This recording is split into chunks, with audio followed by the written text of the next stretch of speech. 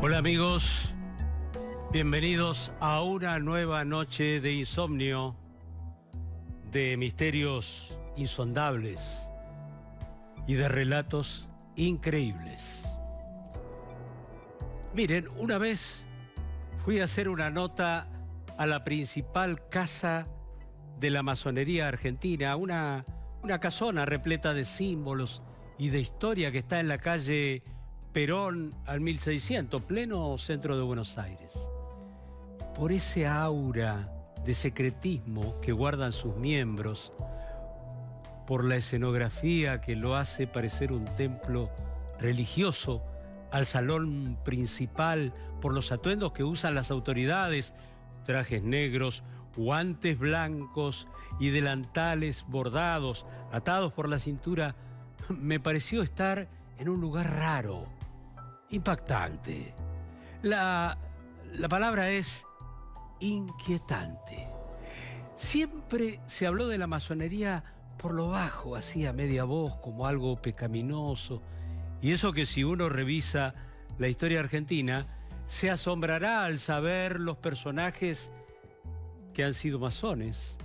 14 de nuestros presidentes, por ejemplo, o ciudadanos tan distinguidos como don José de San Martín, el padre de la patria, Alberdi, que sentó las bases de la Constitución Nacional, José Hernández, el autor del Martín Fierro, Leandro Aleme, el fundador del radicalismo, Alfredo Palacios, el fundador del socialismo, primer diputado socialista de América, el paisajista Charles Taís, el paleontólogo Florentino Ameguino, el arquitecto de la ciudad de La Plata, Pedro Benoit, y hasta Juana Manso, una de las mujeres más importantes que dio la patria.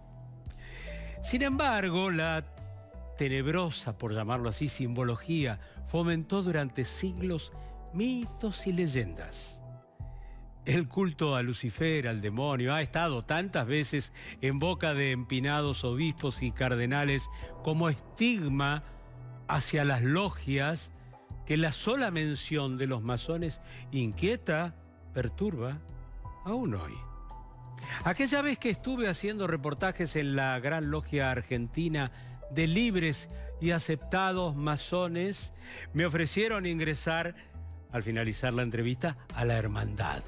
Me dijeron que iba a ser un miembro más de los 12.000 masones que hay en las 300 y pico de logias que existen en todo el país. Que podía, que podía ser un hermano. Y, y yo lo, yo lo miré al gran maestre por un momento sin saber qué contestar, hasta que le dije, déjemelo pensar.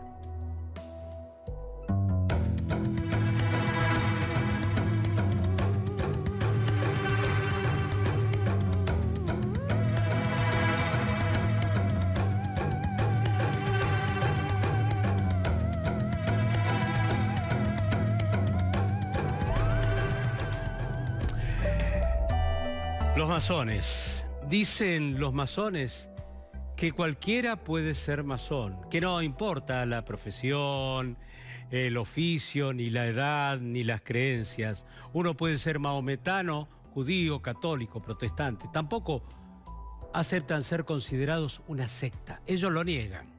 Dicen, no tenemos dogmas y defendemos la libertad de pensamiento. Hasta ahora se aceptan mujeres, cosa que antes era considerada poco menos que un sacrilegio. Desde el 15 de agosto de 1997, cuando se fundó la primera logia femenina aquí en Argentina, pero ahora las masonas argentinas aumentan su membresía y las hay desde Ushuaia a La Quiaca. Dicen, dicen que el 50% se contactaron a través de redes sociales. Mira, alegan que buscan el perfeccionamiento interior y que ambicionan el progreso y rechazan de paso el rótulo de sociedad secreta. Cualquiera encuentra nuestra página en Facebook, dicen. Se las puede ver en las fotos que suben a las redes, vestidas como manda el ritual, totalmente de negro y con mandiles blancos, con ribetes rojos. Los mandiles los mandiles, son esa especie de delantales ornamentados que usan todos los hermanos masones cuando se juntan para lo que ellos llaman las tenidas. Las tenidas, que también son tenidas gastronómicas, son las reuniones o cónclaves que hacen en los templos, donde se discuten distintos temas y llegan a conclusiones que la verdad no, no, no, no sabemos cuáles son, porque eso queda en el ámbito reservado a los hermanos. En cada ceremonia ponen la Constitución Nacional como símbolo de respeto en el atril y para recordar que la masonería se atiene a las leyes de cada país. Pese a que no tienen problemas en aceptar miembros que profesan tal o cual creencia, como ya anticipé, no se llevan bien con las religiones porque, mm, porque ellos dicen que están en contra de los dogmas. Los masones se llaman entre ellos hermanos y se reconocen por señas, gestos, contraseñas. Ese hermetismo les ha ganado mala fama. En los peores momentos, por ejemplo, que yo recuerdo en la plena dictadura argentina entre 1976 y 1983, se decía, se decía que hasta hacían sacrificios humanos allí en el templo de la calle Perón. Bueno, había un persistente deseo de perseguirlos y de desacreditarlos. Vos dirás, hay quienes prefieren vivir en este mundo, en un mundo misterioso, en un mundo oculto. Lo desconocido a veces repele, genera desconfianza. Para los que miran desde afuera, los masones son una cofradía oscura, llena de rituales inconfesables y ambiciones tenebrosas. Por las dudas lo dicen. Ahora, ¿qué quieren estos tipos que se reúnen en casas o casonas extrañas? se visten como para ir a un entierro, ponen música clásica en sus tenidas y hacen ceremonias de iniciación y cosas vinculadas un poco al esoterismo. Vamos a hacer una rápida reseña histórica porque ¿de dónde vienen los masones? Mira, ellos nacieron como un gremio, aunque parezca extraño, aunque parezca mentira, gremio de albañiles, como algo como si fuera una antigua uocra. Estamos hablando de hace mil años, ¿eh? Eran muy importantes los albañiles porque eran los que construyeron, trabajando la piedra con maestría de orfebres, todos los templos, los castillos, las iglesias, las abadías, los palacios, lo más impresionante que había a nivel de edificación en la historia. Hacían cosas fuertes y bellas, como los arquitectos. De hecho, ellos llaman a Dios el gran arquitecto del universo. Como eran dueños de un saber único, exclusivo de ellos mismos, ¿qué hicieron?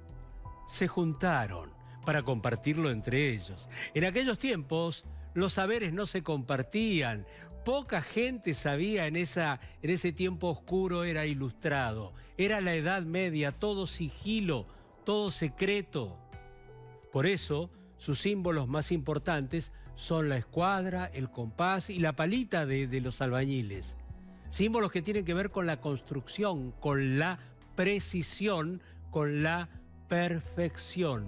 De allí derivaron hacia algo espiritual, construir el templo interior en cada uno de los individuos. Pero, con el correr de los años, las logias aceptaron a otros miembros de la sociedad, como poetas, científicos, médicos, intelectuales, militares y políticos. Entonces, de guardar secretos, los masones pasaron a otro propósito, según cuenta la historia, ayudar al ser humano a tener ideas de libertad. Ellos dicen que así nació la masonería especulativa, que se ocupa no ya de guardar los secretos de los albañiles de antaño, sino de ayudar al ser humano a tener ideas libres. Hicieron suyo el lema de la ilustración, atrévete a pensar por ti mismo. Los masones se agrupan en logias que son como, son como clubes exclusivos. En Argentina ya dije hay como 300 logias, un poco más. Y ellos dicen hoy, vienen para iniciarse empleados, grandes empresarios, en general libre pensadores. Y hay ritos de iniciación. Si uno va al templo de la logia, verá que los más jóvenes o los recién ingresados van al fondo, los mandan al fondo del salón. Porque si uno ahí levanta la vista, ¿qué ve?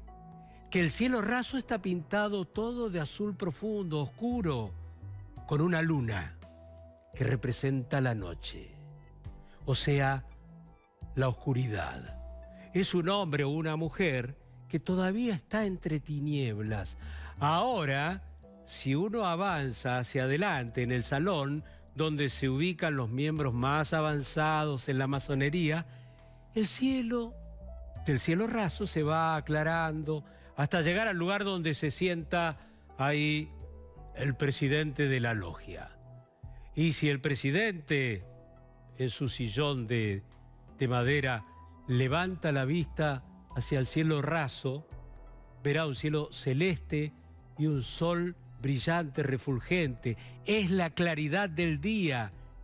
Es el que más iluminado está, el que está más cerca de la verdad.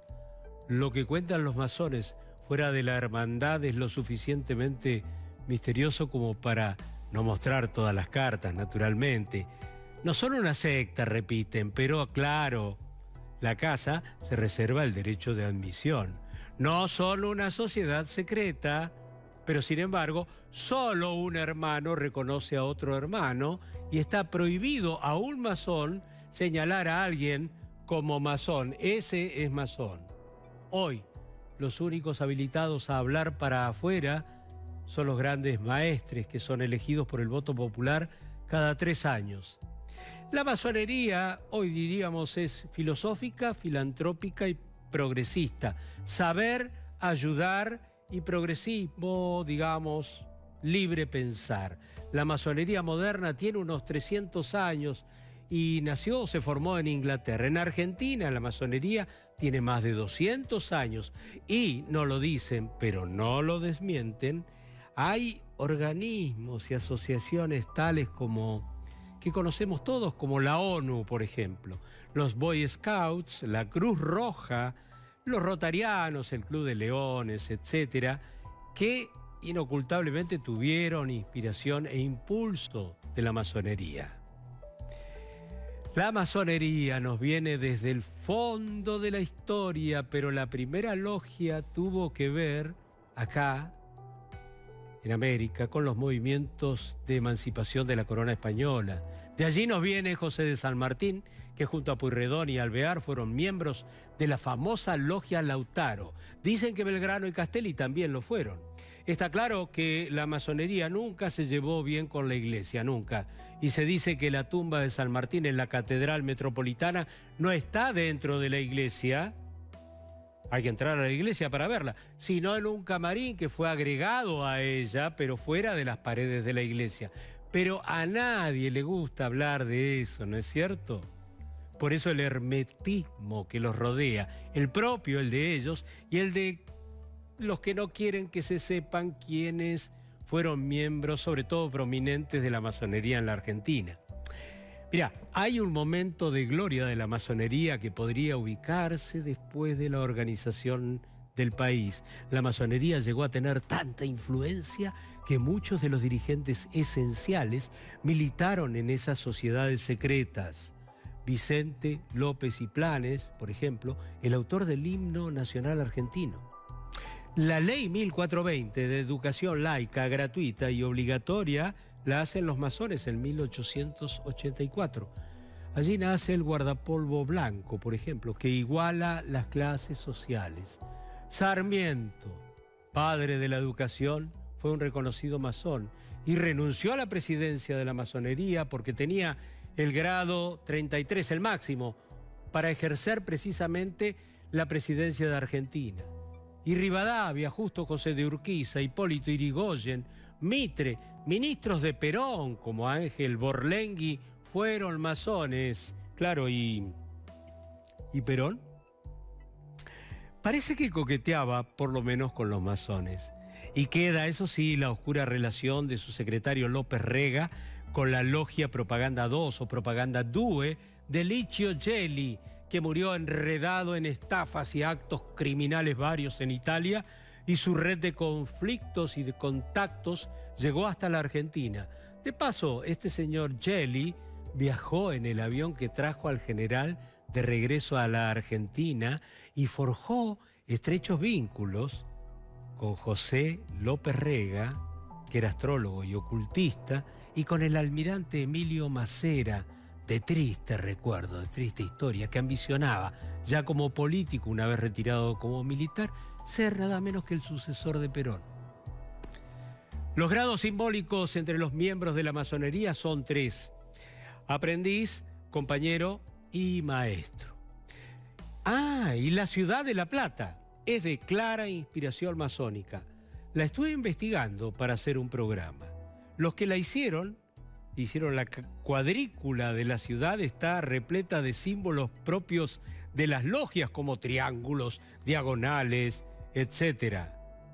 Cuando se cumplieron 100 años de su fundación en 1982, abrieron la caja que había en la piedra fundamental ubicada en la plaza principal frente a la catedral. ¿Y, qué encontraron?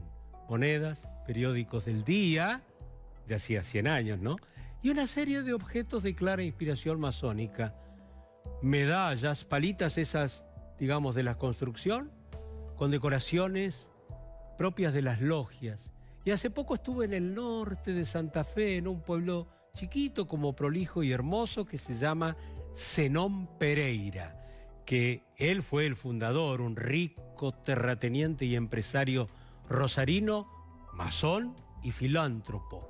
¿Qué es la palabra filántropo? Es la palabra que define a los que ayudan al prójimo, ¿no? Don Zenón alcanzó el grado 33, el más alto dentro de la logia masónica. De ahí que uno ve el mapa del pueblo de Zenón Pereira, el trazado original y tiene 33 calles el grado masónico más importante. Misterio, enigmas, intriga. El pueblo de Zenón Pereira está lleno de símbolos en sus edificaciones. Por ejemplo, la repetición de una simbología que aparece cinco, seis, siete veces, que es un círculo con tres líneas que significa un sol con tres rayos que ilumina y protege esas viviendas. Además, hay medallas, antorchas, escalones, triángulos, todos apliques, adornos en la fachada de las casas que señalan grados de importancia del morador de esa vivienda. Casi todas fachadas que son originales de 1890, realizadas por inmigrantes suizo-alemanes, por inmigrantes italianos, tal como ningún otro en la Argentina. Al principio hasta que las autoridades se decidieron a llamar a reconocidos masones para conocer el pasado del pueblo, se lo tomó con algo de resistencia, que esa casa con esos símbolos raros, pero ahora pasó a ser parte de la identidad del pueblo y los propios alumnos de los colegios colaboraron con la señalética para organizar un tour masónico en Zenón Pereira. Y está bien.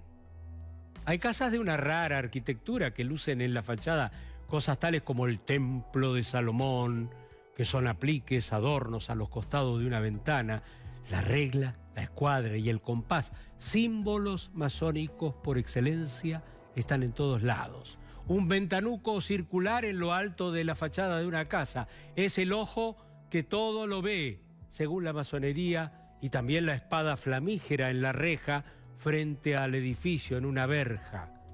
En otras casas se ven medallones, columnas y triángulos de clara inspiración masónica.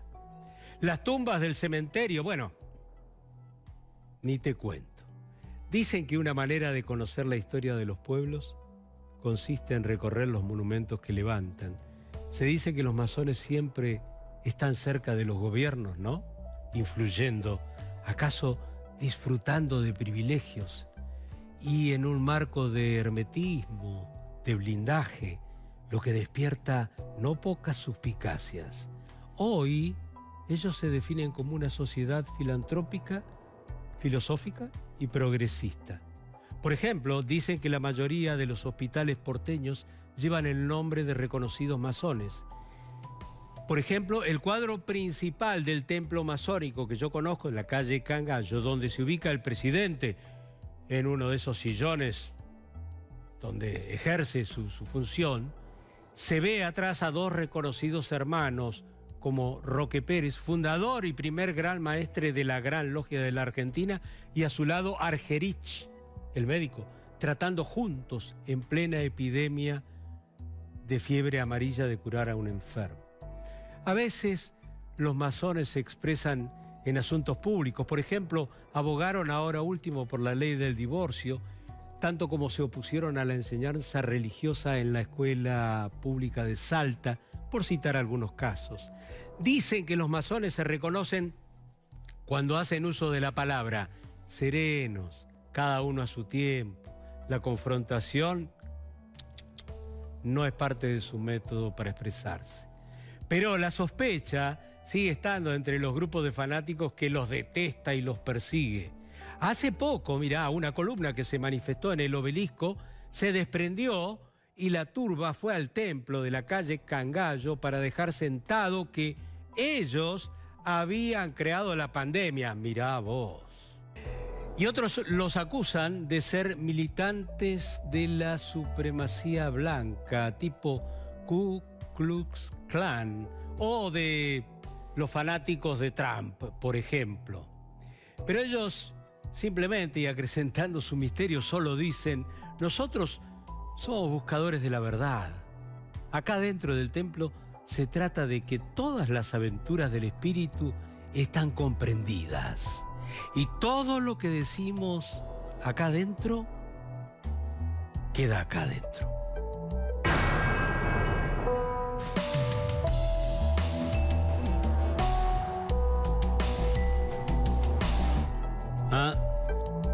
Qué misterio el de los masones, ¿no? La gran logia de la Argentina de libres y aceptados masones, tal su nombre completo, Funciona en la calle Perón desde 1872. Como dije, hay 330 logias en la Argentina, 12.000 miembros. Perón, por decir que ahora me acabo de acordar, tuvo ministros masones en sus tres gobiernos y aparentemente él, dicen, murió como maestro masón. Muchos de los símbolos que cuelgan de las paredes del Palacio San José, la casa de Urquiza en Entre Ríos, son secretamente masónicos. Por eso el poder, la política tiene mucho que ver con esto. Ah, pero no solamente ahí. El clásico River Boca está atravesado por la cuestión masónica. Vos me dirás, estás loco. Mirá, dicen que la banda roja, dicen, ¿eh? está inspirada en cierta simbología masónica. Un presidente de River, Antonio Vespucio Liberti, fue masón. El propio estadio lleva su nombre. Y en Boca, los primos, jugó un jugador notablemente masón entre 1937 y 1939, de nombre Carlos Wilson. No fue una estrella, pero como masón llegó al grado 33 y se convirtió en un gran maestre. ¿Viste? También en el fútbol. 300 años después de su fundación en una taberna de Londres, la Fraternidad Universal de los Masones sigue envuelta en el misterio. Viven entre las sombras durante el día. Celebran sus cónclaves durante la noche. Practican rituales medievales en los templos donde no pueden entrar los intrusos. Por eso hay muchas cosas que no se pueden responder. Son sociedades herméticas, blindadas. Nadie, salvo ellos, entre sí, se reconocen como hermanos. Y se reconocen mediante gestos, pequeños gestos. Tienen su propio lenguaje, preñado de simbología. ¿Existen hoy los masones, Mario? Claro que sí. Tal vez un amigo o, una amiga tuya ahora eh, sea masón o masona. Yo dije que dos veces estuve en el templo, ¿no? Trabajando, haciendo notas en el templo de la calle Cangallo. Las dos veces me propusieron convertirme en hermano, ser un masón. ¿Y qué le contesté al gran maestro de la primera vez y al gran maestre de la segunda vez. Ya lo dije, que lo iba a pensar.